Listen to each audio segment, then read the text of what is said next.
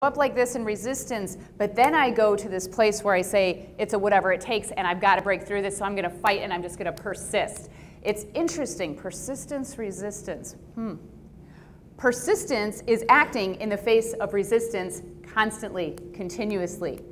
It's what creates results. It's what creates massive results. People who are persistent, they're not persistent because that's just who they are necessarily. They're persistent because they really understand what it means to act in the face of not feeling like it. When you think about it, how often do you do something or not do something based on how you feel? Do I feel like doing it, not feel like doing it? Persistence is taking that higher level commitment and saying, I will do this thing, I will take action to get one step closer to my goal, whether or not I feel like it. It's the concept of being all in. Who can tell me what that means? What does it mean in a game to go all in? What do you have to do? So, so put all of your chips in. So on one hand, right, on one hand, you take all of your chips and you put them in. And what are you betting on? You're, you're, you're betting on yourself. You're betting on the fact that you're going to win because if you don't, if you don't win that hand, what happens? You're out. You're out, you're out, you're out. You can't reach in and grab more money and say, oh, I want to get back in. I made a mistake. No, you're out. So it's like, yeah, I'm all in. I'm putting everything behind this. I'm not holding anything back. You can't hold anything back.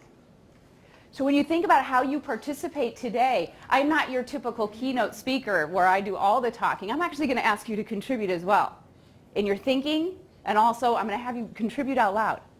So you can do this um, many different ways. You can either contribute just by being here physically. You could just be here and you could just listen, and that's one way of doing it. Or you could go to the other extreme and you could be all in. Alignment. You think about,